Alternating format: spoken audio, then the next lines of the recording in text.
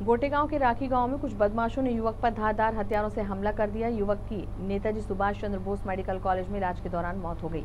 इस हत्याकांड को सात लोगों के द्वारा अंजाम दिया गया। बताया जा रहा है कि रुपयों के लेन देन को लेकर निर्मम हत्या की गई। पुलिस ने मामले में चार आरोपियों को गिरफ़्तार किया है। फरार आरोपियों की तलाश कर रही है।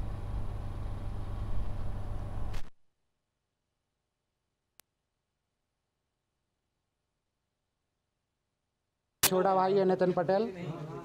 और कल नरसिंहपुर से आया था। बिल्कुल, यानी उनको देख के अंदर लुक गया। और पीछे से वे लोग आन के मारने लगे। जब बिल्कुल मार रहे थे, हम लोगों ने देखा, चिल्ला आवाज़ मारी, इतने वे लोग भग गए मार गए। इंद्रपाल बका फरसा लिए था और कमलेश पटेल बका लिए था। लकड़ी काटने वाला राइजर से लगा होता। है और हरपाल, भगवान और गोपाल दिल्ली बड़कर ये चार लोग पकड़े हुए थे उसको। और एक उसका छोटा भाई, बड़ा भाई इंद्रपाल का। वो बहुत गाली दे रहा था कि मारो साले को जान से मार दो आज बिल्कुल। कितने लोगों ने घटना को अंजाम सात सात लोग थे अंदर, अंदर उनको कहाँ की घटना थी ये? ये राखी की घटना सर राखी भैंसा की कौन सा थाना लगता है? थाना कोटे कुछ पैसों का लेन देन था नितिन पटेल का और उसका इंद्रपाल का।